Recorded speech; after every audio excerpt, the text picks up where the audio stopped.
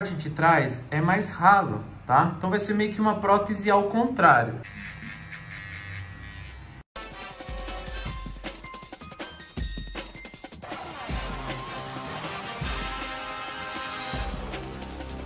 Será que a gente vai inovar hoje?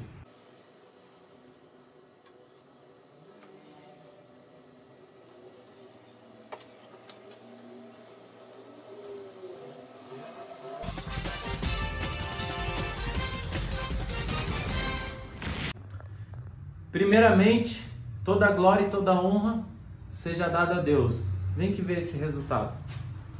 A gente colocou uma mini prótese, aproveitamos a frente do cabelo do cliente. Como vocês viram no vídeo anterior, ela está exatamente neste lugar aqui.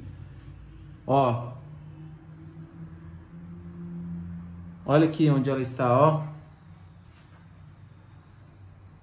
Então todo esse cabelo é do cliente. Vai fazer um transplante. Então a gente preservou para ele não abafar. Vai fazer um transplante lá no futuro tá? O cliente não queria abrir muito mão do cabelo. Então agora a gente vai finalizar com um topique. Que o topique ele já é acostumado a usar.